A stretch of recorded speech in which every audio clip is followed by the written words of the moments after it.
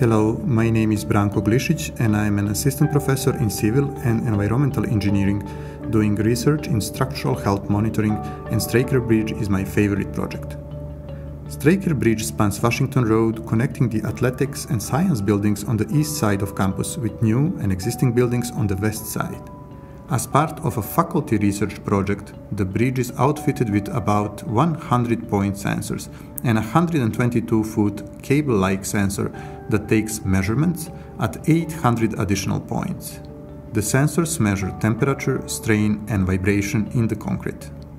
The data allow researchers to compare the actual performance of the bridge with computer simulations of how it is supposed to behave in hopes of identifying structural problems in the bridge before they become serious and costly to repair.